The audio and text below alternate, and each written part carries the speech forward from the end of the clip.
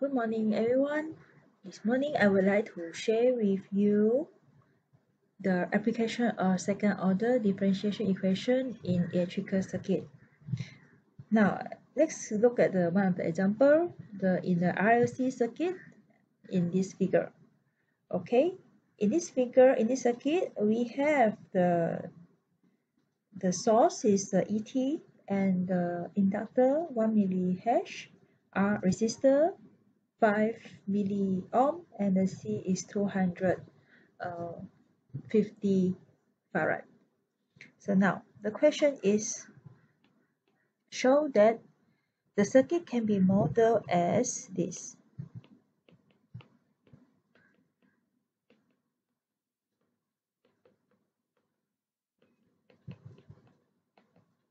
So you need to uh, prove that the circuit can be represented or can be modeled by this equation. Okay, by using KVL, so by using KVL, you know that you have the source, you have the source, you have the inductor, you have the resistor, and you have the capacitor. So you need to find out what is the voltage across, voltage drop across those components. So now you have the VL and plus with the resistor, so VR, and plus with the DC capacitor, for voltage drop across the capacitor equal to the ET, the source. L, okay, but uh, the voltage drop across the inductor is VL. So L, you can, uh, L di over dt, you can convert into this one. Plus VR is IR. Plus VC is 1 over C. Integration of IET equal to ET. So all this voltage drop across the component, you can find it in uh, page 31 in your module. Now you have to differentiate. So you differentiate with respect to t.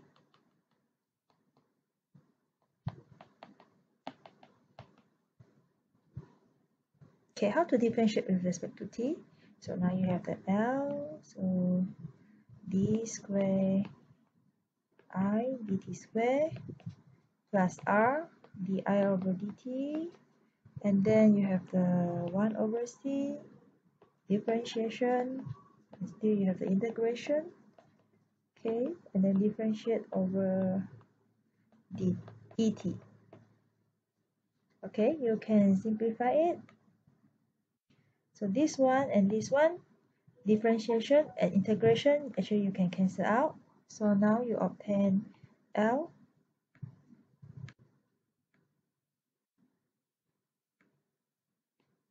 L d square I over dt square plus R dr over dt plus I over C.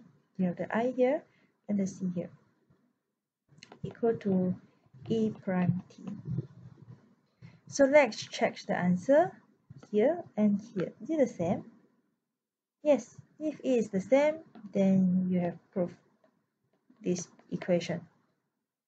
Okay, now the second question, given the x et equal to negative 0 0.01 exponent negative t, and solve the differential equation for the initial condition when t equals 0, i equals 0, and di over dt equal to 0.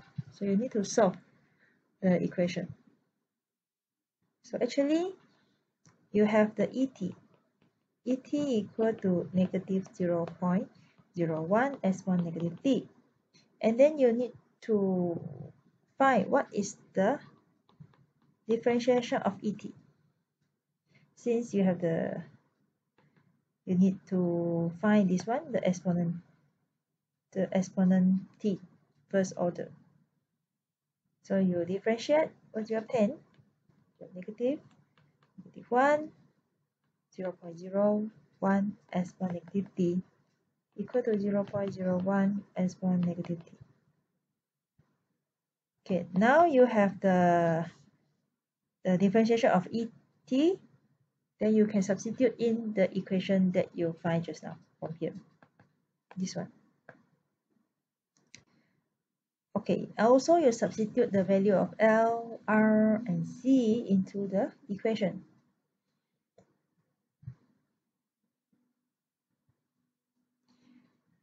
So the L is uh, 0 0.001 plus with R, R is 0 0.005 and uh, C. Equal to 0 0.01 okay this is the one from the differentiation. Okay so since this one is not in a linear so you have to divide 0 0.01 so when you divide by 0 0.01 so you obtain this one just left the d d square over d square i over dt square this one you have 5 plus 4i equal to 10 S1 negative t. So 0 0.01 you divide by 0 0.001 you obtain 10. So by using method of uh, undetermined coefficient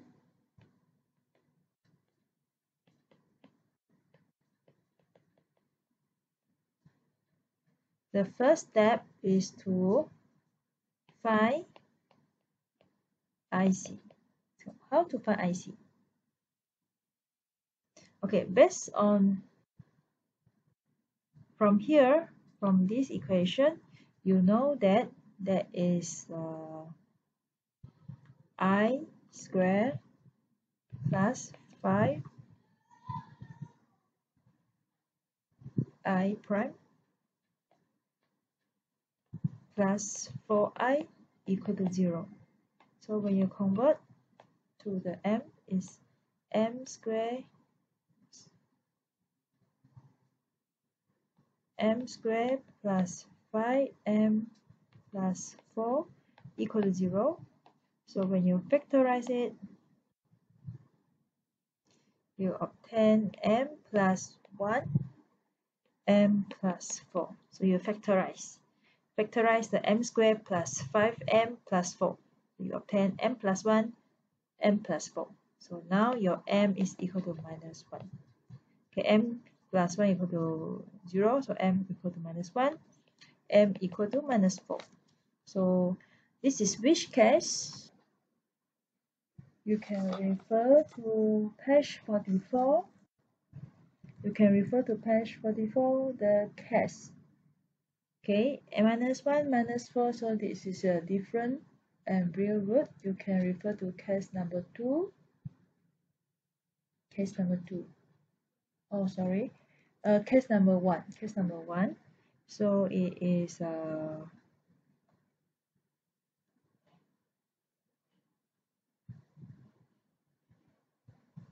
is y or IC equal to a exponent negative 4t plus b exponent negative t.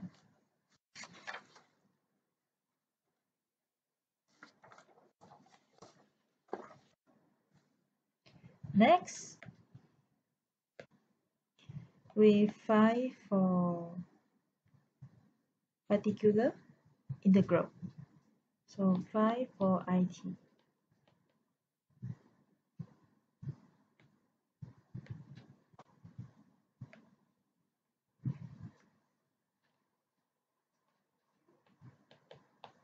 d square i over dt square plus 5 plus 4i equal to 10 exponent negative t. So since the function of fx equal to 10 exponent negative t, so it's case exponent. This one is a case exponent in page 47. IP equal to CE negative X negative T. So is it IP and you compare with I is it IP same with the IC? If you compare with the IC, compare the pattern. Okay, this is the IC. This is the IC. And this is your IP. Is it the same pattern? Okay, this one CE exponent negative t and BE negative t seems like the same. So IP same with IC. It's not allowed. Therefore, you have to multiply with T. So IP equal to CT exponent negative T. So now check again, is it the IP same with the IC? You have CT no, no more, no more t same. So this is not the same. When, when it's not the same, that is your latest IP value. Next, you have to find for the IP prime and IP double prime. So IP prime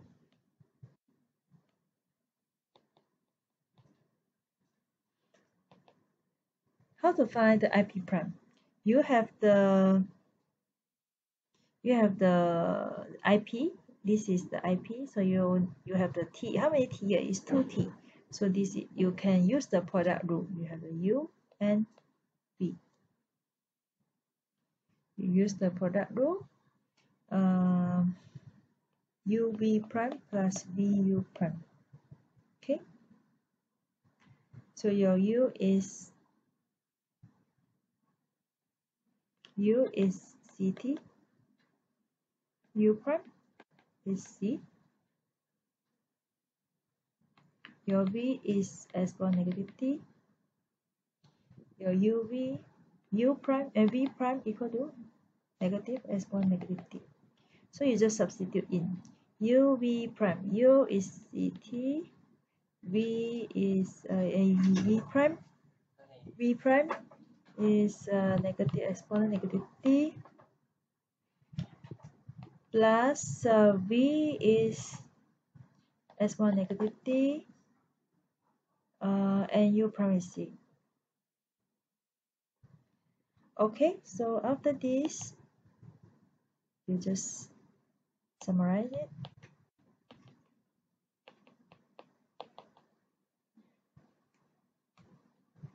This is your IP prime. And then you go to the IP double prime.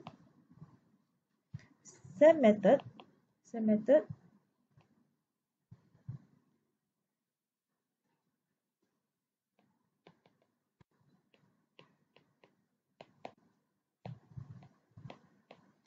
Okay so I straight away I write down the answer for the IP double prime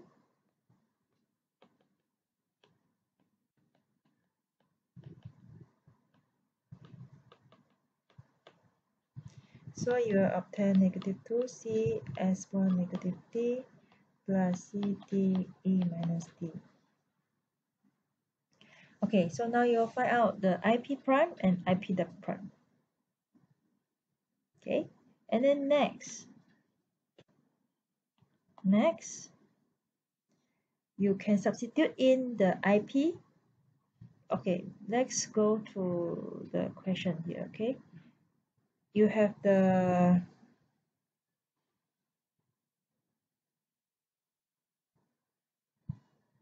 okay IP okay IP double prime.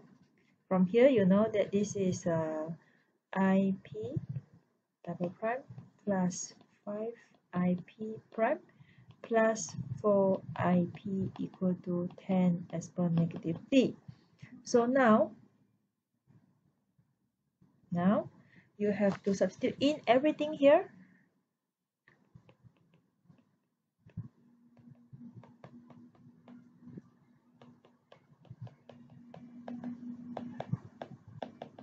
Okay. So ip double prime if negative 2 c s1 negative t plus c t e negative t. And then plus with the 5 ip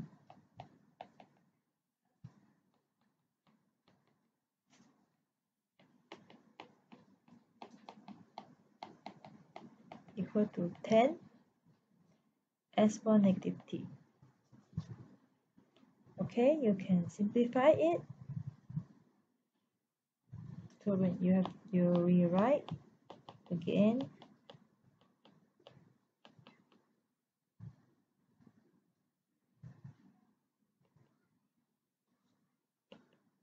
Plus 5c s4 negative t negative 5ct s4 negative t plus 4ct s4 negative t equal to 10 s1 negative t. So you have the, okay, you check again. So you have this one, negative 2 CE, CE S1T. So which one have the CE S1T? So this one also has CE S1T. Okay, normal. So now you have, uh, if you have to compare left side, right, left hand side and right hand side.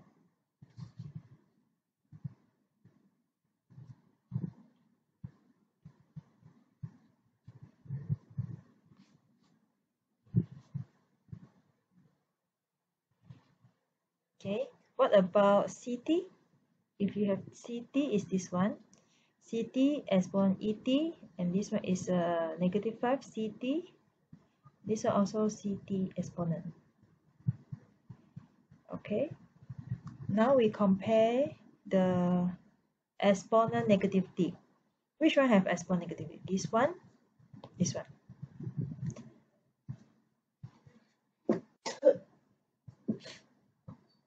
Negative 2 plus 5 you have positive you have positive c as negative t equal to 10 as one negative t. Then you compare. You compare with the exponent. You compare exponent negative t. So you have 3c equal to 10 c equal to 10 over 3 now your ip equal to 10 over 3 t as 1 negative t.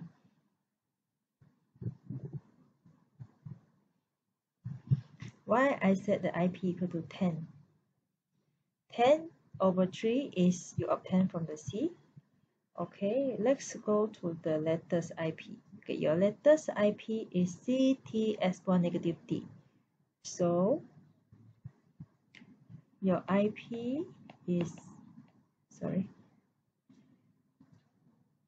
your IP is CT S1 negative T so you just substitute the value of C with 10 power of 10, 10 over 3 that's why you obtain IP equal to 10 over 3 T E minus T.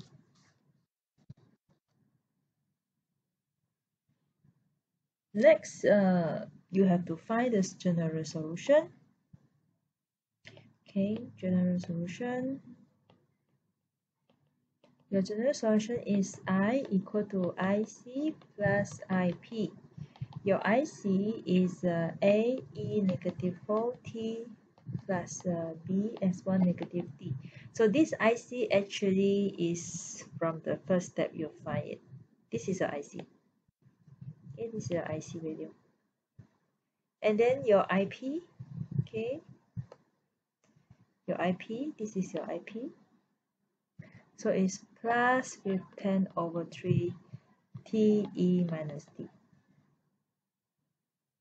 Okay, so is it the final? Is it the final step?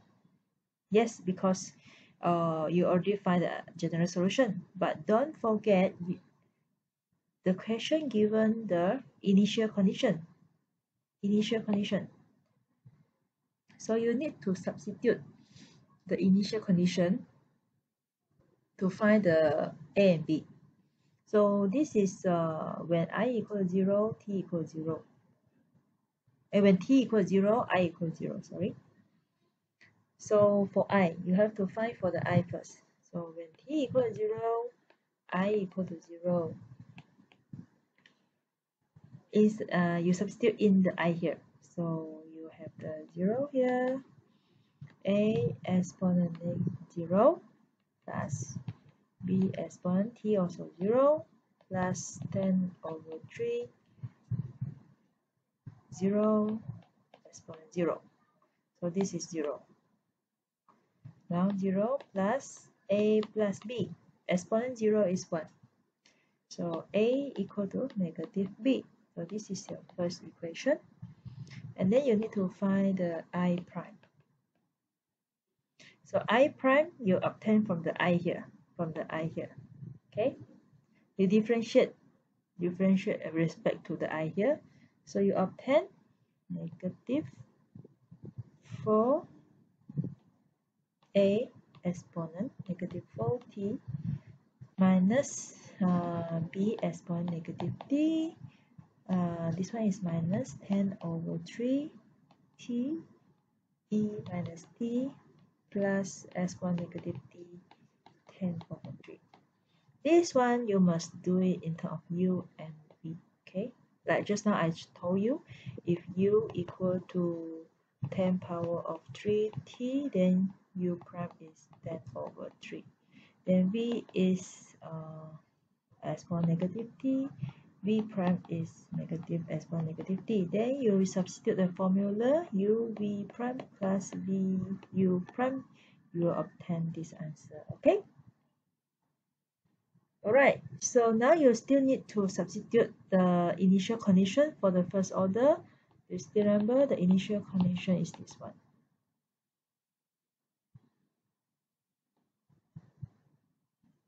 So this means that di over dt equals 0 when t equal to 0.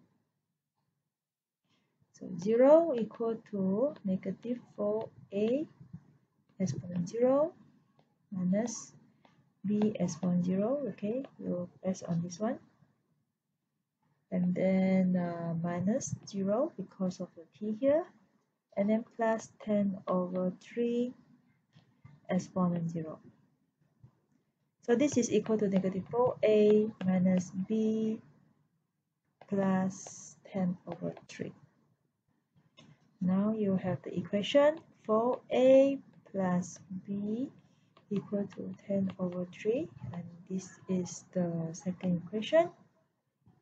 Now you set the value of a equal to negative b. You have the a equal to negative b, so you just substitute in.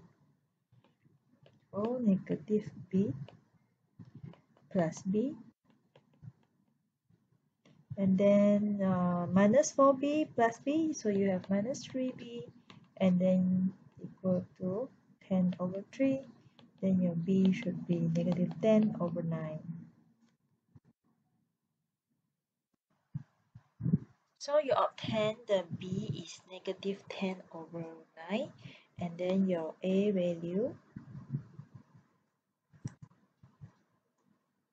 and your a value is uh, negative b equal to 10 over 9. So the final answer is it equal to, you substitute the value of a, so 10 over 9. And then your b is negative 10 over 9, exponent negative t, plus with 10 power of 3 t exponent negative t. So this is your final answer. Okay, thank you for watching.